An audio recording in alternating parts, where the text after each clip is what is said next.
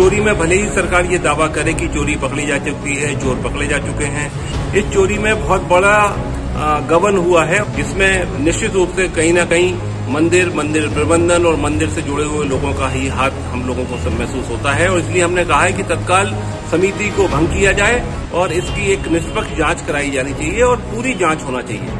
सीहोर ज़िले के सलकनपुर स्थित प्रसिद्ध देवी धाम मंदिर में हुई चोरी के मामले में पुलिस ने भले ही दो संदिग्धों को पकड़, दो बोरी नोट बरामद कर अपनी पीठ थपथपा ली हो, लेकिन इस मामले को लेकर अब कांग्रेस ने मोर्चा खोल दिया है। कांग्रेस ने मंदिर ट्रस्ट पर भी आरोप लगाए हैं। कांग्रेस ने इसकी सीबीआई जाँच की मांग को लेकर राज्यपाल को ज्ञापन सौंपा है।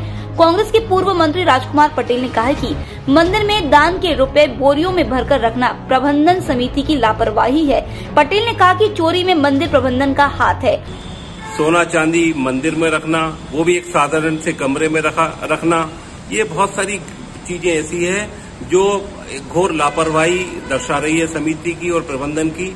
इसलिए हमने महामहिम से आज मांग की थी कि तत्काल बर्खास्त करके समिति को और इसकी एक निष्पक्ष जाँच कराई जानी चाहिए और पूरी जाँच होना चाहिए।